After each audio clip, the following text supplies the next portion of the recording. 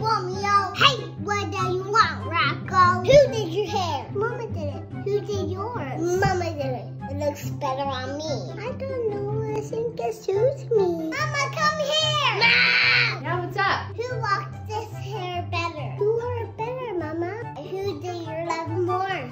Me? Mama, you're so pretty.